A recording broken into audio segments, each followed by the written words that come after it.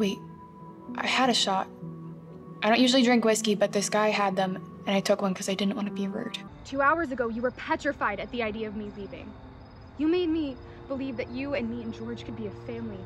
But we can't because at the center of it is you. As usual, completely self obsessed and clueless. I was two minutes late. We've moved on. Keep up. Get your shit together. Gotta go. What do you mean, MIA? Missing in action. Kind of like your brain cells. I haven't thought about the future in a really long time. Why is that? Because. What if I don't have one? She's great.